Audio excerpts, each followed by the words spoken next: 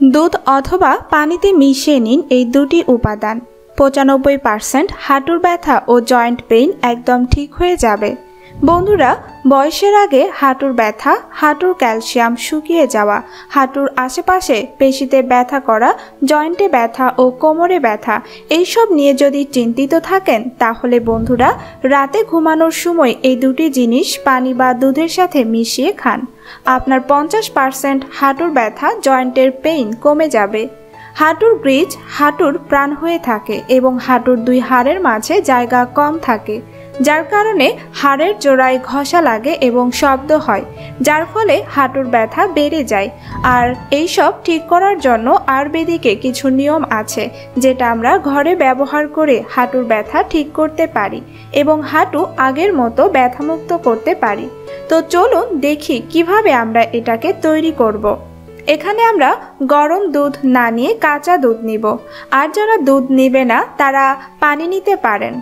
কিন্তু পানির চেয়ে দুধ নিলে বেশি উপকারিতা পাওয়া যায়, আর এটির সাথে নিতে হবে শুকনো খেজুর।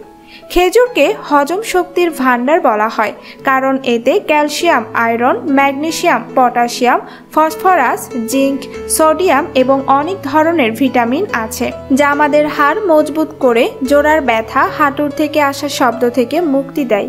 এখানে আপনাকে একদম ফ্রেশ খেজুর নিতে হবে। তিনটি শুকনো খেজুর, এক গ্লাস দুধে হালকা আঁচে গরম করে নিতে হবে। উতলানোর পরে নামিয়ে নিতে হবে।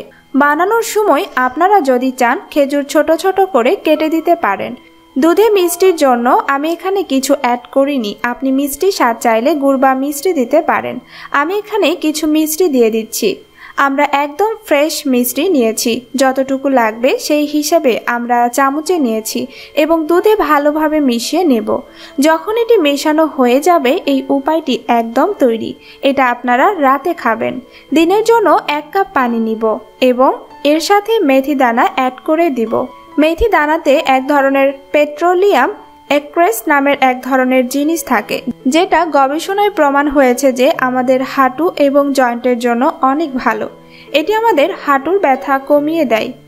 এক চামচ মেথি এক কাপ পানিতে দিতে হবে। আপনি এটি রাতে ভিজাবেন এবং সারা রাত এইভাবে ভিজিয়ে রাখবেন। সকালে উঠে এই পানি খাবেন এবং মেথি দানা চিবিয়ে খাবেন। প্রতিদিন সকালে টানা দশ দিন খেলে আপনার হাঁটুর জোড়ার ব্যথা আস্তে আস্তে একদম ঠিক হয়ে যাবে। আর এই যে উপায়, এটি আপনারা রাতে ঘুমানোর এক ঘণ্টা আগে খাবেন। যদি আপনি দুধ না খান, তো আমি বলব আপনি দুধ খাবেন। কারণ হাঁটুর ব্যথা শুরু হয় দুধ না খাওয়ার জন্য। বন্ধুরা, আপনাদের হাঁটুর গ্রিস যদি কমে গিয়ে থাকে, তাহলে আপনি তিলের তেল দিয়ে মালিশ করবেন। আপনি এটি যে কোনো দোকানে পাবেন। এটি আপনি হাঁটুর তিন ইঞ্চি নিচে এবং হাঁটুর তিন ইঞ্চি ওপরে ভালোভাবে মালিশ করবেন। তারপর কোনো কাপড় দিয়ে ঢেকে দেবেন বা কোনো রুমাল দিয়ে বেঁধে রাখতে পারেন। এই তেল দিয়ে মালিশ করতে করতে আপনার হাঁটুর ব্যথা কমে যাবে। আর এই যে উপায়, এটি আপনারা পনেরো দিন পর্যন্ত ব্যবহার করবেন। পনেরো দিন পর আপনি দেখেন আপনার হাঁটুর ব্যথা কমে যাবে। আপনার হাঁটুর গ্রিস আবার ফিরে আসবে। হাঁটু থেকে আসা হাড়ের কটকট শব্দ কমে যাবে। আজকের ভিডিওতে এই পর্যন্তই। আপনাদের যদি ভিডিওটা ভালো লাগে, তাহলে লাইক করুন আর বন্ধুদের কাছে শেয়ার করুন।